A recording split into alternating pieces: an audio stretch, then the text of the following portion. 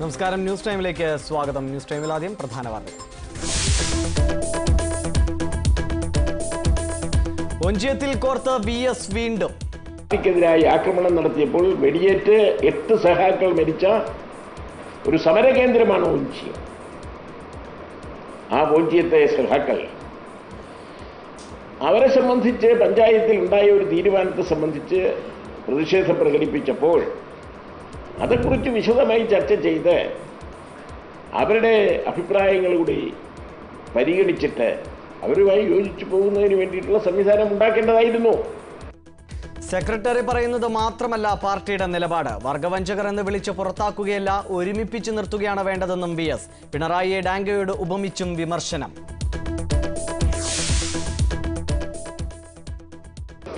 ഇപ്പോൾ ഉയർന്നു വന്ന പ്രശ്നങ്ങൾ പാർട്ടി സംഘടനക്കകത്ത് ചർച്ച ചെയ്യേണ്ട വിഷയങ്ങളാണ്. അത് ചർച്ച ചെയ്യുകയും ഉചിതമായ തീരുമാനമെടുക്കുകയും ചെയ്യും.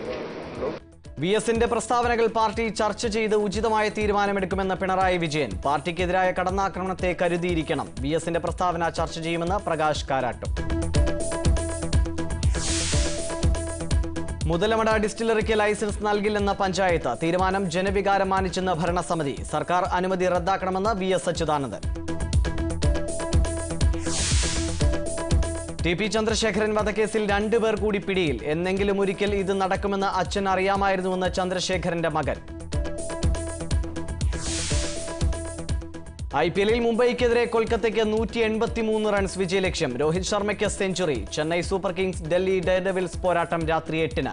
ചാമ്പ്യൻസ് ലീഗിൽ പാക് ടീം സിയാൽ കോട്ട് കളിക്കും. ന്യൂസ് ടൈമിൽ വാർത്തകൾ വിശദമായി. വി എസ് തുറന്ന പോരിലേക്ക്.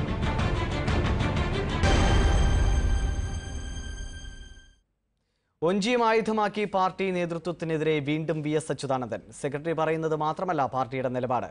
തെറ്റ് ചൂണ്ടിക്കാട്ടുന്നവരെ വർഗവഞ്ചകർ എന്ന് വിളിച്ച് പുറത്താക്കുകയല്ല ഒരുമിപ്പിച്ച് നിർത്തുകയാണ് വേണ്ടതെന്നും വി എസ് അച്യുതാനന്ദൻ തിരുവനന്തപുരത്ത് പറഞ്ഞു. ഈ പ്രകടിപ്പിച്ച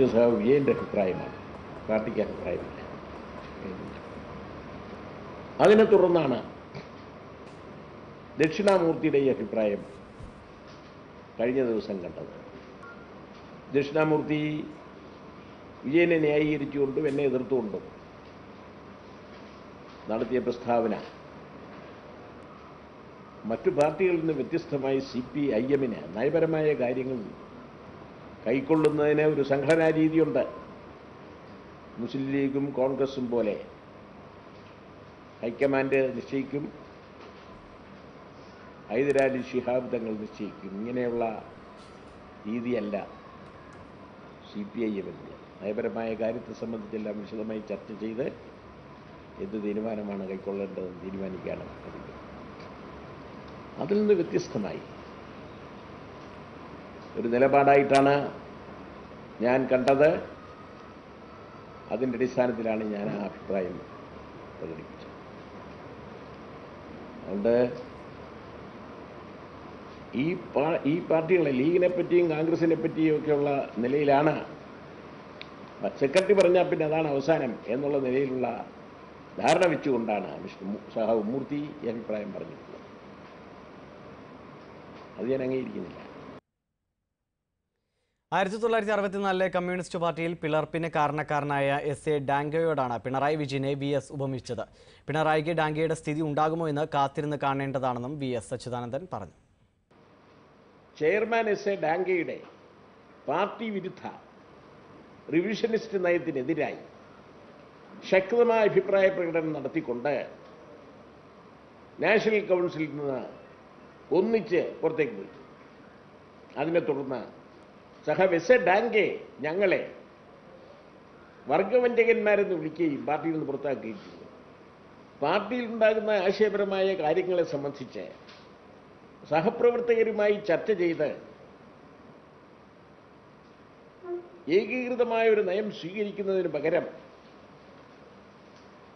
തികച്ചും ഏകാധിപത്യപരമായ സ്വഭാവത്തോടുകൂടി ചെയർമാൻ എസ് എ ഡാങ്കെ മൂന്നിലൊന്നോളം വരുന്ന നാഷണൽ കൗൺസിൽ അംഗങ്ങളുടെ അഭിപ്രായത്തെ തിരസ്കരിക്കുകയും ഞങ്ങളെ വർഗവഞ്ചകന്മാരെന്ന് വിളിച്ച് അധിക്ഷേപിക്കുകയും പാർട്ടിയിൽ നിന്ന് പുറത്താക്കുകയുമാണ് ചെയ്തത്. ഒഞ്ചിയത്തെ സഖാക്കളെ സി പി എം നേതൃത്വം അപഹസിച്ചതായി വി എസ് പറഞ്ഞു. പ്രവർത്തകരുടെ പ്രശ്നങ്ങൾ മനസ്സിലാക്കാതെ അവരെ കുലംകുത്തികളെന്ന് വിളിച്ചുവെന്നും വി എസ് അച്യുതാനന്ദൻ കുറ്റപ്പെടുത്തി. ഓഞ്ചിയത്തെ ടി പി ചന്ദ്രശേഖരൻ അവിടുത്തെ പഞ്ചായത്തിലെ ചില പ്രശ്നങ്ങളെ സംബന്ധിച്ച് ചർച്ച ചെയ്ത് അത് പാർട്ടി അംഗീകരിക്കാതെ വന്നപ്പോൾ അവർ പ്രതിഷേധിച്ച് പുറത്തുപോയി. ഓഞ്ചിയ സഹാക്കൾ ഓഞ്ചിയം എന്ന് പറയുന്നത് വളരെ ഒരു സമര കേന്ദ്രമാണ് സി പി ഐ എമ്മിന്റെ നേതൃത്വത്തിൽ ആയിരത്തി തൊള്ളായിരത്തി നാൽപ്പത്തി എട്ടിൽ ഗവൺമെന്റ് പാർട്ടിക്കെതിരായി ആക്രമണം നടത്തിയപ്പോൾ വെടിയേറ്റ് എട്ട് സഹാക്കൾ മരിച്ച ഒരു സമരകേന്ദ്രമാണ് ഓഞ്ചിയം ആ ഓഞ്ചിയത്തെ സഹാക്കൾ അവരെ സംബന്ധിച്ച് പഞ്ചായത്തിൽ ഉണ്ടായ ഒരു തീരുമാനത്തെ സംബന്ധിച്ച് പ്രതിഷേധം പ്രകടിപ്പിച്ചപ്പോൾ അതേക്കുറിച്ച് വിശദമായി ചർച്ച ചെയ്ത് അവരുടെ അഭിപ്രായങ്ങൾ കൂടി പരിഗണിച്ചിട്ട് അവരുമായി യോജിച്ചു പോകുന്നതിന് വേണ്ടിയിട്ടുള്ള സംവിധാനം ഉണ്ടാക്കേണ്ടതായിരുന്നു. അതിന് പകരം അവരെ അപഹസിക്കുന്ന സ്ഥിതിയിലുള്ളൊരു സമീപനമാണ് ഉണ്ടായത്. അതിന്റെ ഫലമായിട്ട് അവർ തങ്ങളുടെ അഭിപ്രായം ഒരു പാർട്ടി രൂപത്തിൽ റവല്യൂഷണറി മാർക്സിസ്റ്റ് പാർട്ടി എന്നുള്ള രൂപത്തിൽ ഒരു പാർട്ടി ഉണ്ടാക്കി പിന്നീട് നടന്ന തിരഞ്ഞെടുപ്പുകളും എല്ലാം തന്നെ സ്വതന്ത്രമായി മത്സരിക്കുക എന്നുള്ള നിലപാടാണ് സ്വീകരിച്ചത്. പാർട്ടിയെ ഇന്നല്ലെങ്കിൽ നാളെ ആ തെറ്റായ നയ സമീപനങ്ങളിൽ തിരുത്തി പാർട്ടി ശരിയായ ഒരു നയത്തിലേക്ക് വരുമെന്നാണ് ഞാൻ പ്രതീക്ഷിക്കുന്നത്. വി എസ് അച്യുതാനന്ദന്റെ പ്രസ്താവന പാർട്ടി ചർച്ച ചെയ്യുമെന്ന് പിണറായി വിജയൻ പറഞ്ഞു. അതിനുശേഷം മാത്രമേ ഇക്കാര്യത്തിൽ ഒരു അഭിപ്രായം പറയുകയുള്ളൂ. പാർട്ടിയിൽ ചർച്ച ചെയ്യാതെ ഉത്തരവാദപ്പെട്ട സ്ഥാനങ്ങളിലിരിക്കുന്ന ഒരു സഖാവും ഇക്കാര്യത്തിൽ അഭിപ്രായം പറയാൻ പാടില്ല. പാർട്ടിക്കെതിരെയുള്ള കടന്നാക്രമണത്തിന് തുടക്കമിടുന്നതിന്റെ സൂചനകൾ കണ്ടു തുടങ്ങി. ഇതിനെതിരെ പാർട്ടി സഖാക്കൾ കരുതിയിരിക്കണമെന്നും പിണറായി വിജയൻ ആവശ്യപ്പെട്ടു. ഇപ്പോൾ ഉയർന്നു വന്ന പ്രശ്നങ്ങൾ പാർട്ടി സംഘടനക്കകത്ത് ചർച്ച ചെയ്യേണ്ട വിഷയങ്ങളാണ്. അത് ചർച്ച ചെയ്യുകയും ഉചിതമായ തീരുമാനമെടുക്കുകയും ചെയ്യും. അതേവരെ കേരളത്തിലെ പാർട്ടിയുടെ ഉത്തരവാദപ്പെട്ട ഒരു സഖാവ് ഈ കാര്യത്തിൽ പ്രതികരിക്കരുത് എന്നാണ് എന്റെ അഭ്യർത്ഥന. രണ്ട് കാര്യങ്ങളിലാണ് ശ്രദ്ധിക്കേണ്ടത്. നെയ്യാറ്റിങ്കര ഉപതെരഞ്ഞെടുപ്പിൽ യു ഡി എഫ് കനത്ത പരാജയം ഏറ്റുവാങ്ങാൻ പോവുകയാണ്. ആ പരാജയം ഉറപ്പിക്കുന്ന പ്രവർത്തനത്തിലാണ് പാർട്ടിയും എൽ ഡി എഫും കേന്ദ്രീകരിക്കാൻ. മറ്റൊന്ന് ഈ പാർട്ടിക്കെതിരെ ഒരു കടന്നാക്രമണത്തിന്റെ തുടക്കം കുറിക്കുന്നതായ സൂചനകൾ വന്നു കഴിഞ്ഞിട്ടുണ്ട്. ഇപ്പോൾ പാർട്ടിക്കെതിരെയുള്ള കടന്നാക്രമണത്തെ ചെറുക്കാൻ പാർട്ടിയും സഖാക്കളും ജാഗ്രതയോടെ രംഗത്തിറങ്ങേണ്ട സമയവുമാണിത്. ഇപ്പോൾ ഉയർന്നു വന്നിട്ടുള്ള വിവാദപരമായ പരാമർശങ്ങളെക്കുറിച്ചൊക്കെ പാർട്ടി സംഘടന ചർച്ച ചെയ്ത് ഉചിതമായ തീരുമാനം എടുക്കും എന്ന് ഒന്നുകൂടി ആവർത്തിച്ച് പറയുകയാണ്. വി എസ് അച്യുതാനന്ദനെതിരെ സി പി എം ഔദ്യോഗിക വിഭാഗം കേന്ദ്ര നേതൃത്വത്തിന് പരാതി നൽകും. വി എസിനെതിരെ ഉടൻ കടുത്ത നടപടിയൊന്നും എടുക്കാൻ ആലോചിക്കുന്നില്ലെന്ന് കേന്ദ്ര നേതൃത്വം വ്യക്തമാക്കിയിട്ടുണ്ട്. അടുത്ത മാസം ചേരുന്ന കേന്ദ്ര കമ്മിറ്റി യോഗം വി എസിന്റെ പ്രസ്താവനയെക്കുറിച്ച് ചർച്ച ചെയ്യും. വി എസ് അച്യുതാനന്ദൻ വാർത്താ സമ്മേളനം നടത്തുമ്പോൾ ദില്ലി എ കെ ജി ഭവനിൽ അവൈലബിൾ പോളിറ്റ് ബ്യൂറോ യോഗം പുരോഗമിക്കുകയായിരുന്നു. വി എസ് നടത്തിയ പ്രസ്താവനകളെക്കുറിച്ച് യോഗം ചർച്ച ചെയ്തു. അടുത്ത മാസം ഒൻപത് പത്ത് തീയതികൾ നടക്കുന്ന കേന്ദ്ര കമ്മിറ്റി യോഗത്തിൽ ടി പി ചന്ദ്രശേഖരന്റെ കൊലപാതകത്തിന് ശേഷമുണ്ടായ പ്രശ്നങ്ങളും വി എസിന്റെ പ്രസ്താവനയും വിശദമായി ചർച്ച ചെയ്യാൻ ധാരണയായിട്ടുണ്ട്. പോളിറ്റ് ബ്യൂറോയും ഇക്കാര്യങ്ങൾ പരിശോധിക്കും. ഒഞ്ചിയൻ സംഭവത്തിൽ പാർട്ടിക്ക് പങ്കില്ല എന്ന നിലപാടെടുക്കുമ്പോഴും പിണറായിയെയോ വി എസിനെയോ പരസ്യമായി അനുകൂലിക്കാൻ കേന്ദ്ര നേതൃത്വം തയ്യാറായിട്ടില്ല. ഇപ്പൊ ഇത് സംബന്ധിച്ച് ഒരു പ്രതികരണവും ഞങ്ങൾക്ക് നടത്താനില്ല. എന്താ അവിടെ നടന്നതെന്നറിയട്ടെ അത് ഞങ്ങൾ പരിശോധിക്കും. കൂട്ടായി അത് സംബന്ധിച്ച് തീരുമാനിക്കും. ടി പി ചന്ദ്രശേഖരൻ കുലംകുത്തിയാണ് എന്ന പിണറായിയുടെ അഭിപ്രായമാണോ പാർട്ടിക്കുള്ളതെന്ന് ചോദിച്ചപ്പോൾ ഇതായിരുന്നു മറുപടി. അപ്പോൾ ആ വിവാദത്തിന് എന്റെ ഉത്തരം കിട്ടുമെന്ന് പ്രതീക്ഷിക്കുന്നുണ്ടോ? ഈ വിഷയത്തിൽ അടിയന്തരമായി എന്തെങ്കിലും നടപടിക്ക് സി പി എം നീങ്ങില്ല എന്ന സൂചനയാണ് പാർട്ടി കേന്ദ്ര നേതൃത്വം നൽകുന്നത്. ഏഷ്യാനെറ്റ് ന്യൂസ് ദില്ലി. പാർട്ടിയുടെ അഭിപ്രായം പാർട്ടി സെക്രട്ടറിയുടേത് തന്നെയാണെന്ന് സി പി എം നേതാവ് ടി ശിവദാസ മേനോൻ പ്രതികരിച്ചു. വി എസിന്റെ പരസ്യ പ്രസ്താവന അച്ചടക്ക ലംഘനമാണ്. അഭിപ്രായങ്ങൾ പറയേണ്ടത് പാർട്ടി ഘടകത്തിലാണെന്നും ശിവദാസ മേനോൻ പറഞ്ഞു. സെക്രട്ടറി പാർട്ടി ഈ സിറ്റുവേഷൻ പൊളിറ്റിക്കൽ സിറ്റുവേഷനെ പറ്റിയോ വേറെ ഒരു കാര്യത്തെ പറ്റിയോ ഒരു അഭിപ്രായം പറഞ്ഞാൽ അതാണ് ഇപ്പോ പാർട്ടിയുടെ അഭിപ്രായം. നോ ഡൗട്ട് പരസ്യമായിട്ട് അഭിപ്രായ അഭിപ്രായ വ്യത്യാസം സെക്രട്ടറി ആയിട്ടുണ്ടെങ്കിൽ പരസ്യമായിട്ട് പറയാൻ പാടില്ലെന്ന്. അത് പാർട്ടിയുടെ അദ്ദേഹത്തിന്റെ ഘടകത്തിലോ അല്ലെങ്കിൽ താഴത്തെ ഘടകത്തിലോ ഒരു ഘടകത്തിലെ അഭിപ്രായം പറയാൻ കൊടുക്കും മനുഷ്യർ.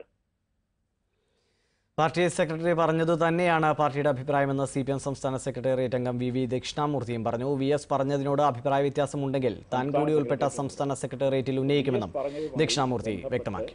എന്തെങ്കിലും അഭിപ്രായ വ്യത്യാസം എനിക്കുണ്ടെങ്കിൽ അത് പരസ്യമായി പറയുന്ന ഒരു സമ്പ്രദായം ഈ പാർട്ടിയിലില്ല പറയേണ്ടത് എന്റെ ഘടകത്തിലാണ്. എന്റെ ഘടകം സംസ്ഥാന സെക്രട്ടേറിയറ്റാണ് വി എസ് അച്യുതാനന്ദന്റെ പരസ്യ പ്രസ്താവന ഔദ്യോഗിക പക്ഷ നേതാക്കളെയും വി എസ് പക്ഷ നേതാക്കളെയും ഒരുപോലെ ഞെട്ടിച്ചു. വി എസിനെതിരെ അച്ചടക്ക നടപടി ഉണ്ടാകുമെന്ന് ഔദ്യോഗിക പക്ഷ നേതാക്കൾ വ്യക്തമാക്കുമ്പോൾ അദ്ദേഹം പുറത്തേക്കുള്ള വഴി സ്വയം വെട്ടിത്തുറക്കുകയാണോ എന്ന സംശയത്തിലാണ് വി എസ് പക്ഷ നേതാക്കൾ. സി പി എമ്മിന്റെ സംഘടനാ ചരിത്രത്തിലെ അപൂർവമായൊരു സംഭവമാണ് ഇന്ന് നടന്ന വി എസിന്റെ വാർത്താ സമ്മേളനം. പാർട്ടി കേന്ദ്രങ്ങളെയെല്ലാം അക്ഷരാർത്ഥത്തിൽ അദ്ദേഹം ഞെട്ടിച്ചു കളഞ്ഞു. പരസ്യമായ പോരിന് തന്നെയെന്ന് അദ്ദേഹം ആവർത്തിച്ച് പറയുകയായിരുന്നു. പാർട്ടി സെക്രട്ടറിയുടെ വാക്ക് അവസാന വാക്കല്ല. പിണറായി വിജയൻ ഡാങ്കയ്ക്ക് തുല്യമായി പ്രവർത്തിക്കുന്നു. അച്ചടക്ക നടപടി ഉണ്ടായാൽ അപ്പോൾ കാണാം. കൂടുതൽ പേർ പാർട്ടി നിർത്തുന്നതിലെ രംഗത്ത് വരുമെന്ന് പ്രതീക്ഷിക്കുന്നു. എല്ലാം കടുത്ത വെല്ലുവിളികൾ. ആയിരത്തി തൊള്ളായിരത്തി അറുപത്തിനാലിലെ കാര്യങ്ങൾ ഓർമ്മിപ്പിച്ച് വീണ്ടും ഒരു പിളർപ്പിന്റെ സന്ദേശം കൂടി വി എസ് നൽകുകയാണ്. നെയ്യാറ്റിങ്കര തെരഞ്ഞെടുപ്പ് പോലെ അതിനിർണായകമായ ഒരു സമയത്താണ് വി എസിനെ പോലെ മുതിർന്നൊരു നേതാവ് ഇങ്ങനെ പ്രതികരിച്ചിരിക്കുന്നതെന്നതും ശ്രദ്ധേയമാണ്. വി എസ് എന്തോ ആലോചിച്ചുറപ്പിച്ചിരിക്കുന്നുവെന്നാണ് നേതാക്കളെല്ലാം പറയുന്നത്. ഒന്നുകിൽ പുറത്തു പോവുക അല്ലെങ്കിൽ അച്ചടക്ക നടപടി എടുപ്പിക്കുക. ഇനി എന്തായാലും ഈ പാർട്ടിയിൽ നിൽക്കാൻ കഴിയില്ലെന്ന നിലപാടിലേക്ക് വി എസ് എത്തിയെന്നാണ് ചിലരുടെ നിരീക്ഷണം. എന്തായാലും സി പി എമ്മിലെ വിഭാഗ്യത എല്ലാ അതിരുകളും ഭേദിച്ച് പുറത്തു വന്നിരിക്കുന്നു. വരും ദിവസങ്ങൾ നിർണായകമാണ്. നേതാക്കൾ തന്നെ പറയുന്നതാണ് എന്തും സംഭവിക്കാം. എല്ലാം കാത്തിരുന്ന് കാണാം. ആർ അജയഘോഷ് ഏഷ്യാനെറ്റ് ന്യൂസ് തിരുവനന്തപുരം. മറ്റു വാർത്തകളിലേക്ക്. ടി പി ചന്ദ്രശേഖരൻ വധക്കേസിൽ രണ്ടുപേർ കൂടി പോലീസ് പിടിയിലായതായി സൂചന. ലുക്കൌട്ട് സർക്കുലറിലെ റഫീഖിനെ കൂടാതെയുള്ള അഞ്ചു പേരുടെ പേരുകൾ പുറത്തുവന്നു. കണ്ണൂരിൽ നേരത്തെ രാഷ്ട്രീയ അക്രമ സംഭവങ്ങളിൽ പങ്കാളികളായ മൂന്ന് പേരുടെ പേരുകൾ ഇതിലുണ്ട്. രണ്ടുപേർ പിടിയിലായിട്ടുണ്ട്. ലുക്കൌട്ട് സർക്കുലറിലെ മൂന്ന് പേർ മുൻപ് അക്രമക്കേസുകളിൽ ഉൾപ്പെട്ടവരുമാണ്. കർണാടകത്തിൽ വെച്ചാണ് കേസിലെ ഒരു പ്രധാനിയെ പോലീസ് പിടികൂടിയത്. ഇയാളെ ചോദ്യം ചെയ്തു വരികയാണ്. മറ്റൊരാൾ കൂടി പോലീസിന്റെ പിടിയിലായിട്ടുണ്ട്. ഇവരുടെ പേരുവിവരങ്ങൾ പോലീസ് വെളിപ്പെടുത്തിയിട്ടില്ല. ഇതിനിടെ വിമാനത്താവളങ്ങളിൽ നൽകിയ ലുക്കൌട്ട് സർക്കുലറിലെ ചില പേരുകൾ പുറത്തു വന്നു. അഴീക്കൽ സ്വദേശി ഫൈസൽ കണ്ണൂർ സ്വദേശി ഷിനോജ് മനോജ് അനൂപ് എന്നിവരുടെ പേരുകളാണ് ഇതിനകം പുറത്തു വന്നത്. ഇവർ കേസുമായി ബന്ധമുള്ളവരോ പ്രതികളോ ആണെന്ന് പോലീസ് സ്ഥിരീകരിച്ചിട്ടുണ്ട്. ഇതിനകം പിടിയിലായ പന്തക്കൽ സ്വദേശി ശ്രീജേഷിൽ നിന്ന് ചില സുപ്രധാന വിവരങ്ങൾ പോലീസിനെ കിട്ടിയിട്ടുണ്ട്. ചന്ദ്രശേഖരനെ വധിക്കുമെന്ന് ശ്രീജേഷിന് മുൻകൂട്ടി അറിയാമായിരുന്നുവെന്നാണ് സൂചന. സുപ്രധാന കണ്ണിയായ കൊടുസുനിയെ കേന്ദ്രീകരിച്ചാണ് കൊല ആസൂത്രണം ചെയ്തതെന്നും സൂചനയുണ്ട്. കൊലയാളി സംഘത്തിലെ മറ്റുള്ളവർക്ക് ഇതുമായി ബന്ധപ്പെട്ട പണമിടപാടിലോ ആസൂത്രണത്തിലോ പങ്കില്ല എന്നാണ് പോലീസിന്റെ നിഗമനം. ആസൂത്രകർ പിടിക്കപ്പെടാതിരിക്കാൻ ഒരാളെ കേന്ദ്രീകരിച്ചാണ് ഗൂഢാലോചനയും ആശയവിനിമയവും നടന്നത്. ഇതിനിടെ പോലീസ് ചോദ്യം ചെയ്ത് വിട്ടയച്ച രണ്ടുപേർക്ക് കേസിൽ പങ്കുണ്ടെന്ന സൂചനയും പോലീസിന് കിട്ടിയിട്ടുണ്ട്. റഫീഖിനെ കേരളത്തിന് പുറത്തെത്താൻ സഹായിച്ച ലോറി ഡ്രൈവറാണ് ഇവരിൽ ഒരാൾ എന്നാൽ ഇവർ രണ്ടുപേരും ഇപ്പോൾ അപ്രത്യക്ഷരായിരിക്കുകയാണ്. ഏഷ്യാനെറ്റ് ന്യൂസ് കോഴിക്കോട്.